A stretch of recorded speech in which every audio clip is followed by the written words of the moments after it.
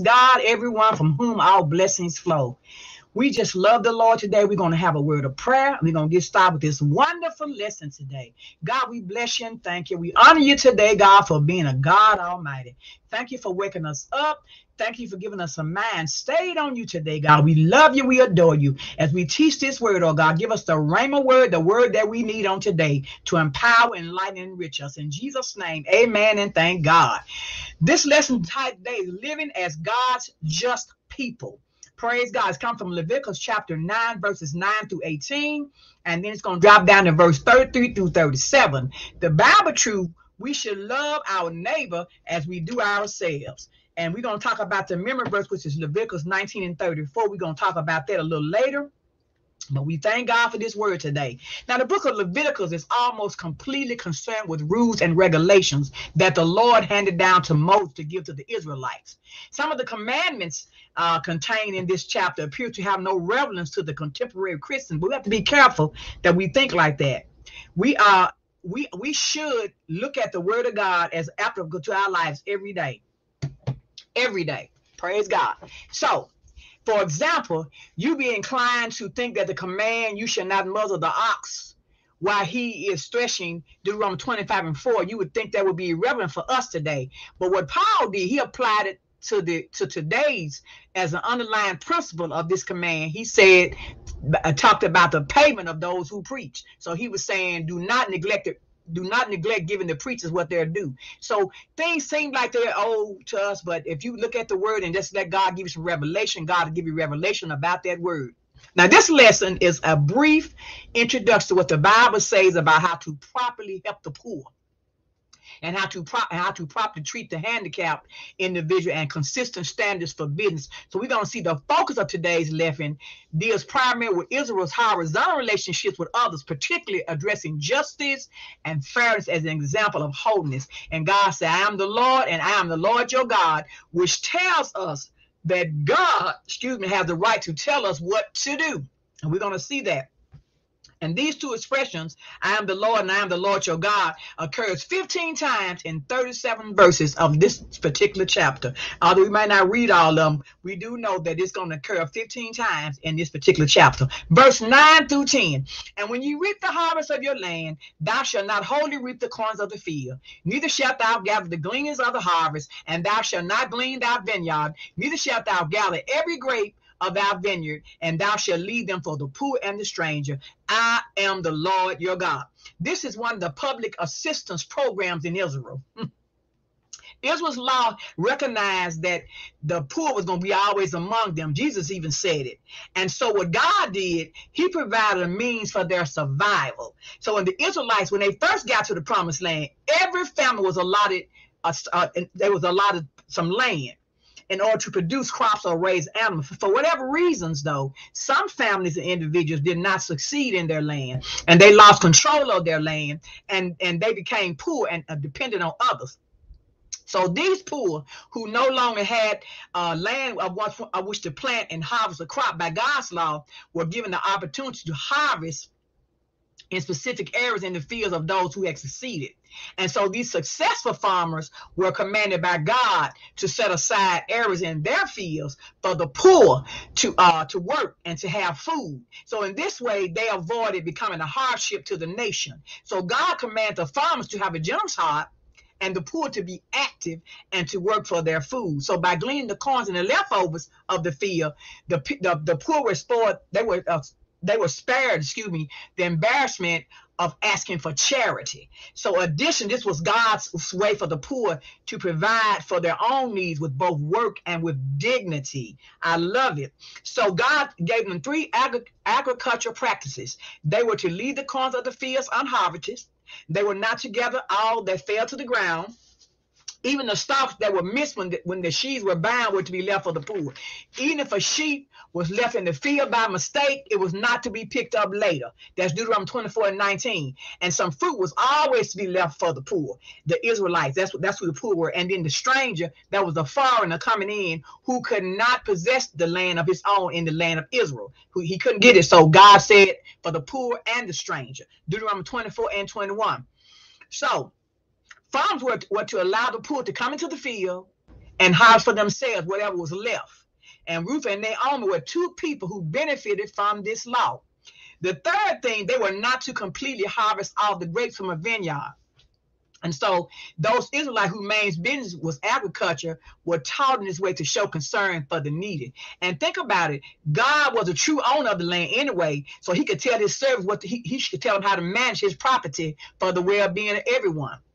Now, it was permissible to go into a neighbor's field or vineyard before the harvest and pick enough to satisfy your hunger but it was not legal to carry away any fruit in a container or to cut off any grain with a sickle. And so, by this combination of honest generosity and the poor's labor, their basic needs were to be met. And this was not only care given to the poor in Israel, but it was also a command that every three years be a Pacific special tithe collected for the, re- the relief of the poor. If the church would just go back to doing some of this thing, some of this stuff, some people wouldn't be homeless. But anyway, this is what they did during this time. We can still do it today because we most people make enough money to give something to the poor. All right, verse 11 through 13. You shall not steal, neither deal falsely, neither lie to one another, and you shall not swear by my name falsely, neither shall thou profane the name of thy God. I am the Lord, thou shalt not defraud thy neighbor, neither rob him. The wages of him is him that is hired shall not abide with thee all night and until morning. So in these verses, many practices are forbidden.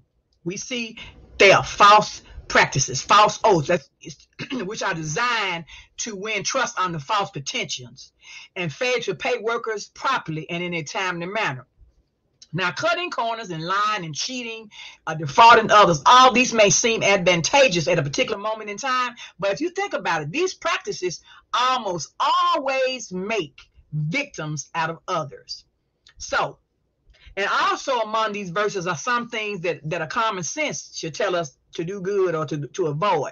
And it might seem obvious, but laws against committing perjury, stealing, and lying are sometimes hard to obey uh, when the boundaries are less clear. So when the cases are obvious, the trust between right and wrong is clear. But often deception and deceit and fraud can take very subtle and easily um, justified forms because even the poor and the rich can can be tempted to steal or deal false with others and tell lies for a different reasons. The poor could say in their minds, "They're this, they're, this is their this to survive. So I gotta I gotta be this on so I can survive." When God had made provision for them to work, and the rich and powerful could say. They could be justified in their minds to remain rich and powerful when God expected them to treat all people fairly and dishonest and honestly and be concerned for the needs of others. So the rich could say one thing and the poor could say one thing, but God is saying all of it's wrong. And so we know that this is the uh the eighth commandment prohibiting theft and and explain more fully because he includes excuse me adding neither either adding neither deal falsely so deceitful deals are intended to take advantage of a person, getting from him some material or psychological benefit to which one is not entitled. And so this is stealing, whether done in overtly or or indirectly, it's still stealing. So add to this to this prohibition is neither lie one to another so stealing and lie go hand in hand. My mom used to always say, if you lie, you steal. She would always say that to me. And it said, you should not swear by, by the name false, and neither shall thou profane, be disrespectful, be, be blasphemous, the name, uh, blasphemous, the name of thy God. Now it's bad to tell a lie. But it's much worse to swear or to vow or guarantee and give your word with God's name you can't take God's name lightly. And I'm gonna tell you, I'm gonna give you a perfect example. When Jacob deceived, deceived Isaac in order to get Esau's blessing. So what he did, he said, when Isaac asked him, How'd you get it so quick? He said, Because the Lord, the, the Lord thy God brought it to me. Genesis 27 20. So he did not just lie about the source of the meat, he profaned God's name in doing so. So to swear falsely by his name was to disregard the holiness of God's name and and, and, and is invoked as an insurance of the truth. And as people say, I, you know, it's I swear before God. Why you got swear before God? Just tell me yay or nay. The Bible said just be let it be yay or let it be nay. So also God said in, in his in the word, he said, do not hold back the person's wage. And the main reason was because these people were poor people. If you read, get a chance to read Deuteronomy 24 verses 14 and 15, it emphasizes the workers' poverty and need. In other words, these people work day by day so they could eat at night. So if you withhold their money to the next day, even, then they might starve to death. That they might starve that night. And so Jesus was the Bible also was saying not only pay them, but pay them in a timely way. This is what he was saying here. So the principle is that you keep your word and don't take advantage of your employees by holding on to their wages for your own benefit. And this is what it's saying. It also emphasizes that it makes no difference whether the worker is an Israelite or a foreigner. It does not matter. Verse 14, thou shalt not curse the Lord. That means, excuse, excuse me, curse to death, nor put a stumbling block before the blind, but shall fear the Lord thou God, I am the Lord. So Israel law also condemned those who dishonor the infirm. Thou shalt not curse the deaf. And the reason this was so bad, because the deaf cannot hear the curse. And give and he couldn't even give a response. Because you know, when somebody says something over you and you don't like, you say, Satan the Lord rebuke you, but I heard it. But a deaf person cannot hear it. So the so the curse, that that's very cowardly to do that to a deaf person because they can't give you a response. So the appearance and behavior of the handicapped may seem strange, but mockery betrays a callous heart. Exodus 4 and 11. And so this verse should literally be taken as placing an object that when it says by putting a stumbling block before the blind, that should be that should be taken literally for a person to stumble and fall. That's what they're saying. So we can hardly imagine a more heartless act. It would be done only for one self-centered amusement because people are so cruel. Now the main, the ultimate thing about this is this. This is the ultimate thing. The ultimate issue is not how we treat the infirm. Get this. If you don't get anything else out of this lesson, but our attitude toward the, the, the God who made them. Because God made them. So the attitude is bad. So you got to be careful how you treat God's people. And also, God sent his law out to correct bad theology. Because it was a common uh, common then and still exists today for people to think that if someone had a physical disability, such as being deaf or blind, then that person then that person was specifically, specially cursed by God. So th- that and, and think about it.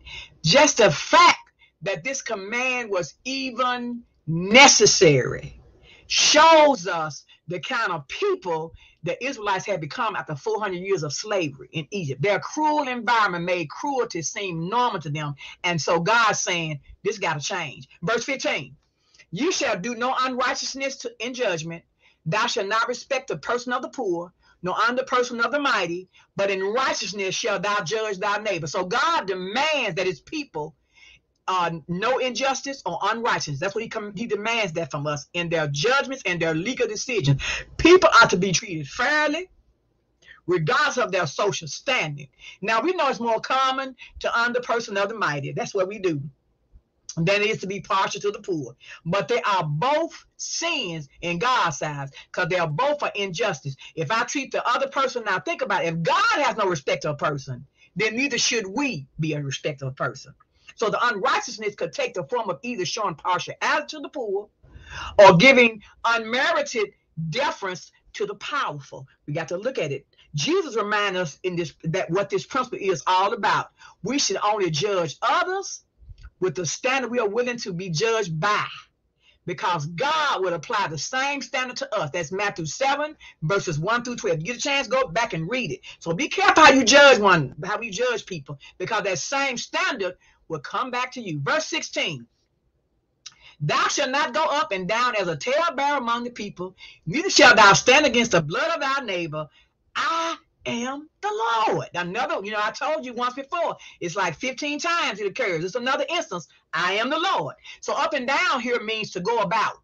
And Proverbs 18 and 8 says it this way about a talebearer. The words of a talebearer are as wounds and they go down into the innermost parts of the belly. So this is a commandment from God that thou shalt not.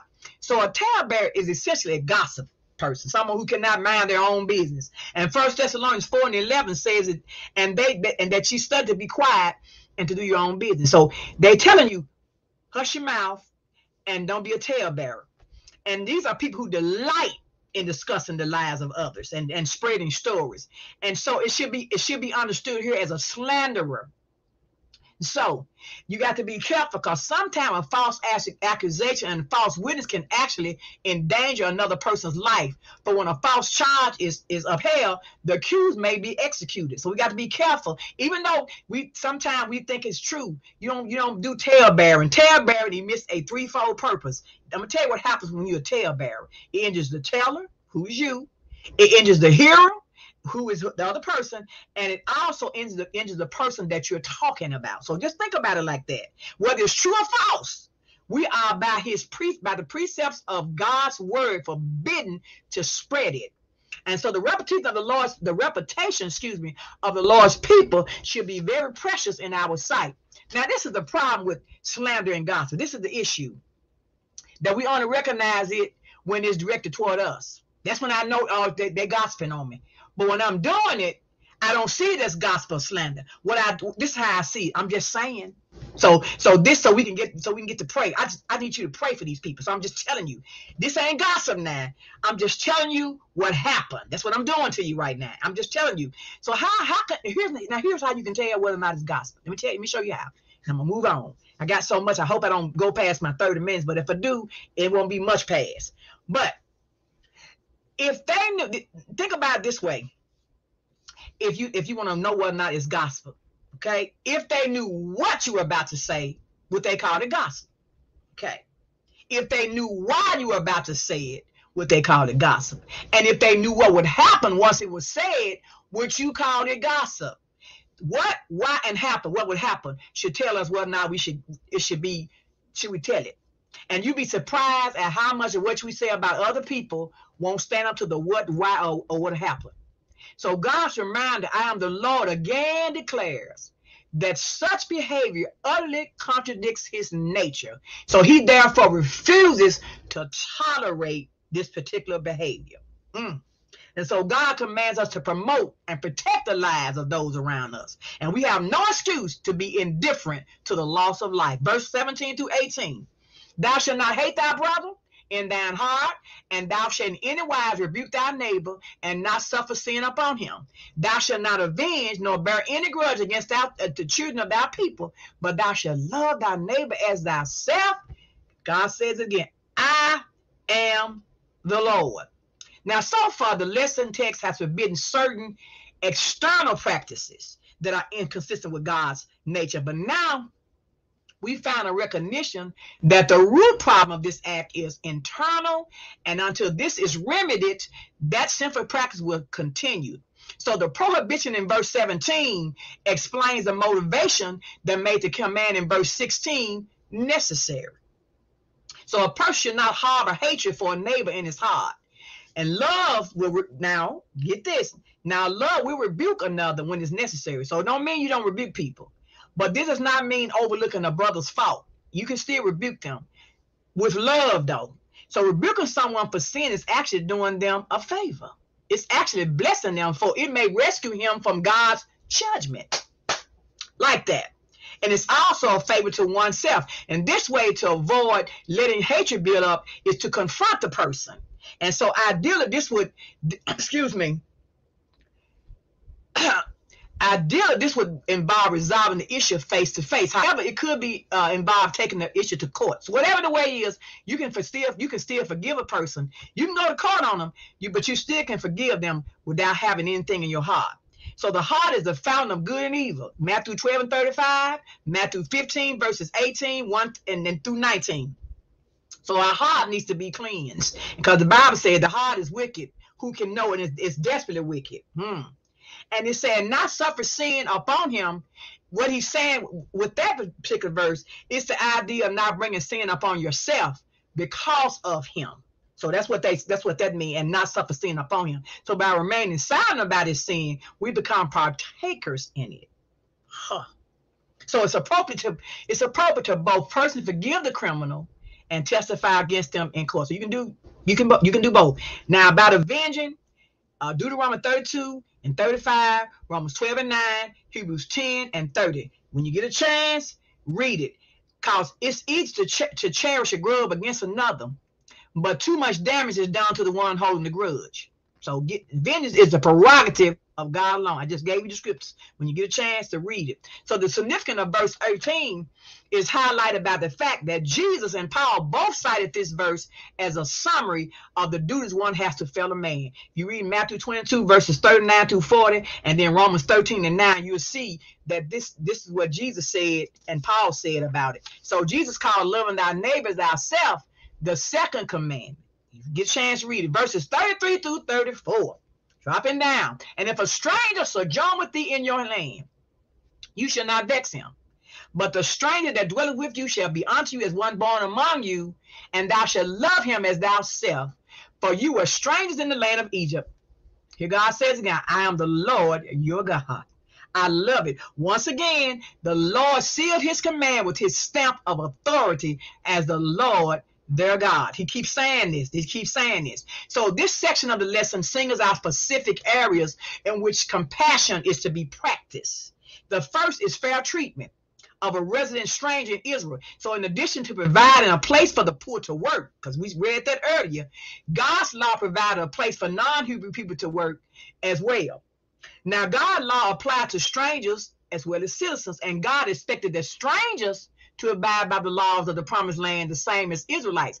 And if a stranger came to live or stop over in the Israelites' land, they were to treat the stranger living among them just like they would treat any other by not vexing, not irritating, or mistreat him. That is, in other words, don't do him wrong.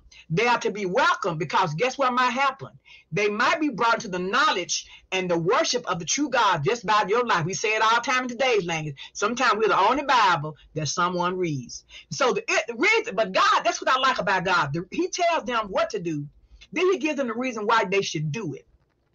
He said, you have to love the foreigners and what they say and, and what they said to themselves has been strange because you have been excuse me you should love the foreigner because you used to be a stranger in Egypt. So you you you should understand how that person feels. And this is why God said this. You know, because you were a stranger, because we used to sing a song when I was younger. Uh, uh, uh, I'm, a, I'm a stranger in this weary land, or something. That, that, those some of the words. I can't remember the tune per se, but I remember being a stranger in, in this weary in this foreign land. So we're not we're not here to stay, but God wants them to remember this is what I did for you. Remember when you were in Egypt, you were strangers. So you should know how you feel. So you should be able to treat the foreigner good because you know how you felt when you were in Egypt. Mm. Verse 35 through 36. You shall do no unrighteousness in unrighteousness in judgment, in meteyard, in weight, or in measure. Just balance, just weight, just ephod, and a just hand shall ye have. I am the Lord your God, which brought you out of the land of Egypt. So look what God did here. Unjust dealings are nowhere more common than in business transactions, and they are not to use dishonest standards in decision in three areas. And that's where a person in business can cheat a customer. First of all, it's in judgment. That means their legal rulings or verdicts. Uh, uh that most apply to the judge, judges. Then in meteyard, that refers to a measuring stick. That means in their measurements. And then the weight means their bulk or mass of a thing. And measure means quantity or capacity. So he's saying you got to be honest and you got to be consistent by your standards which you measure and weights and are determined in order for just and fair commerce to exist. In other words, be honest when ruling on a matter. Weigh and measure anything in length, weight or volume. And so God is saying, I want you to be honest in these things. So God states he's so simple. He, he gives you, like I said earlier, if it's clear, you don't have no problem right or wrong. So manufacturers, they have a right to claim profit now. They do but he is not to increase his measure of profit at the expense of the consumer, the public at large, or nature. So some intentionally misinterpreted God's law and the laws of God's government and look for ways to cheat without violating the Pacific in these three areas. So what I figured out, that's why a lot of people in jail right now because they tried to figure some things out. The EFAUT, the e- EPHAH, however you want to pronounce it, is taken as a standard of dry measures and the hen as a standard of liquid measures. So everything that God does is right and proper. So his people should only do things that are right and proper too. So he asks again, I am your Lord, which bringing you out of the land of Egypt. He says, I'm your Lord God. He does not want them to forget that he's the Lord their God. God declared that he's the Lord and the one with the right to tell us what to do. So in bringing land, bringing Israel out of Egypt, the Lord intends to set apart a people distinguished by their likeness to Him and not conform to the practices of surrounding people. So God wanted the people to Himself. And that's why He kept saying, I am the Lord your God. I'm the one that brought you out. I'm the one that did these things for you. Verse 37 Therefore shall ye observe all my statutes and all my judgments and do them.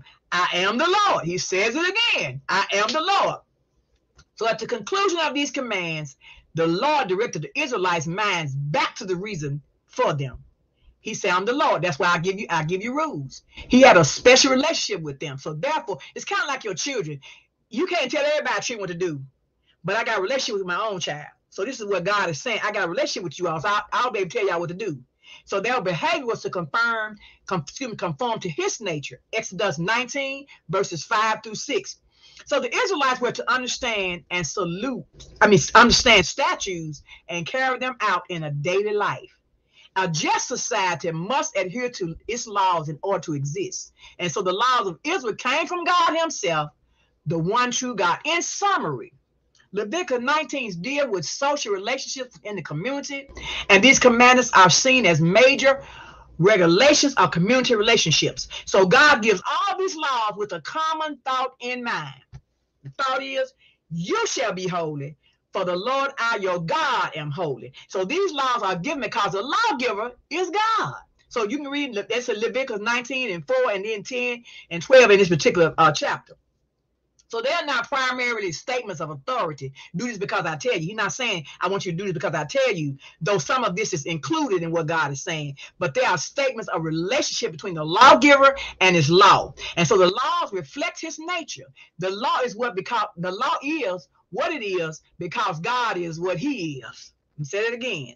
The law is what it is because God is what he because it excuse me. The law is what it is because God is what he is. I had to, I had to get them ears and tears and all them together. So given the purpose of the book, to admonish Israel to to to be holy just as God is holy, and to give them practical directives of how to achieve it. This passage works toward achieving this purpose by answering Israel's question: How can we be holy just as God is holy? By purposely, this is what God is doing. We can't do this today, but we can do some other things. So to be holy, by purposely leaving portions of a field or vineyard unharvested and allowing the poor to harvest these sections for themselves, Israel was to be was was able to provide for the poor from their from their surplus and thus reflect the heart of their God. So in this way, they could be holy just as he is holy. And this lesson could have a secondary relevance for those outside of the church in that they, they would discover one way in which the church today should reflect God's heart for the poor. And that is the lesson for today. This lesson blessed my soul. Now, I got an announcement about AIM. I want us to know, you know, AIM is coming up on the starting June 4th through the 18th. You got your speakers, AIM, uh, Wednesday, Master excuse me, Pastor Michael Lampkin Thursday, Andrew Singleton, so on, Bishop Pruitt on Friday, Zach Hayes, Zacchaeus Hay, I own, is one of the ones that's over it. And there's just so many things that are going to be going on. So if you get a chance to go, praise God, you can go down to Jackson um, from the 14th through the 18th, 17th, excuse me, 14th to the 17th. I think the 18th is like the basketball tournament. I think that Saturday is actually the tournament. So praise God from whom all blessings flow. So I, I appreciate you all. God bless you. I'm gonna have a word of prayer and I'm gonna end this lesson. God, we bless you. We thank you. We honor you. We give you glory and we give you praise. God, you are so worthy to be praised. We thank you for this word, God, that it comes to show us a better way Show us how to live and how to talk to one another. God, we just thank you that you said love our neighbors as ourselves. Help us, oh God, to treat our neighbor right, God. We treat ourselves right, so God, we ought to treat our neighbors the way we want to be treated. Help us, oh God, in the name of Jesus. Have your way today. Get to glory and everything that be said and done on today, God. We thank you now and we thank you and we bless you. In Jesus' name we pray. God bless you. Enjoy your strong.